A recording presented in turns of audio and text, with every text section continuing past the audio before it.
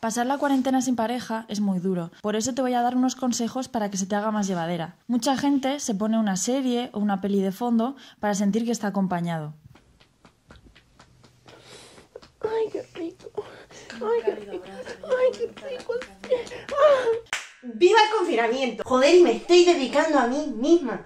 Estoy leyendo, estoy viendo series, estoy cultivándome, cultivándome mentalmente, emocionalmente, coño, que es que hasta medito. Si esto no te funciona, puedes recurrir a colocar elementos que evidencien que vives con tu pareja. Por ejemplo, esparcir algunos pelos públicos por la ducha y dejarlos ahí. Lo peor no es estar soltero durante la cuarentena, lo peor es tener pareja durante la cuarentena y no estar pasando la cuarentena con ella. Que piensas cosas horribles todo el rato. Si se enfría la relación, y si se pone enfermo yo no estoy ahí para cuidarle, y si se le ocurre dejarse bigotes. Es duro, pero él lo está pasando peor que yo, la verdad.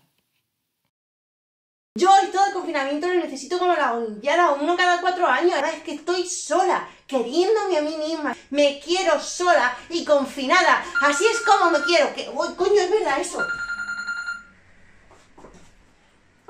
Tú, la hora de la merienda. Te toco queso con un isoporra. Esto es mi plan B por si lo de la soltera. ¡Cállate ya que no me escucha el vídeo! Que es por el plan B, a ver si así, si no me funciona lo de estar sola, por lo menos, pues mira, tengo ahí. Tengo ojo, ¿eh? Para secuestrar. Ay, qué cosita, ya. También puedes dejarte mensajes en el espejo. Sí, ya sé que podrías esperar a darte una ducha de agua caliente para que se genere vaho en el espejo. Pero ¿por qué esperar cuando el amor llama a tu puerta? En mi experiencia lo que estoy aprendiendo es que creo que lo más importante es mantener la llama de la pasión encendida y mm, creo que una cosa muy importante es enviar pues alguna fotito así sugerente, algún mensajito así como que para mantener un poco la chispilla. Y si no te contesta, tampoco pasa nada, o sea, ya lo haré. A mí no me ha contestado de momento, pero bueno, al final luego cuando acaba todo esto ya os cogéis con más ganas, ¿no? bueno, él ya ha planes, pero ¿me entendéis, no? O sea, el concepto se, se entiende. Si al final cuando eres una mujer fuerte e independiente como yo, esto no tiene que afectar, o sea, el que está pendiente es él. Ya me ha escrito un mensaje, es que el fin...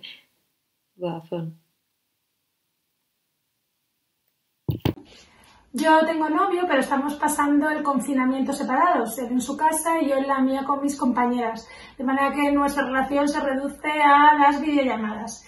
Y la verdad que mis compañeras de piso se piensan que somos mucho más fogosos de lo que somos y que estamos todo el día haciendo cibersexo, sexy. Y yo pues no he querido desmentirlo. ¡Qué grande! Ya está otra vez, por favor, qué pesadilla. Si no te cabe.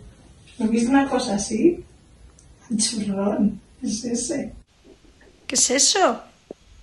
¿Qué es, qué es eso? ¿Y ahora eso qué es una persona ahí? ¿Qué es eso? No sé qué es eso, no sé qué es eso. Es que no se sabe qué es eso. Por último, si nada de esto te sirve, siempre puedes poner una playlist de latido cardíaco y colocarla a tu lado para sentir que estás acompañado. Dura tres minutos, que es lo mismo que ha durado cualquiera de tus relaciones sentimentales. Mucho ánimo.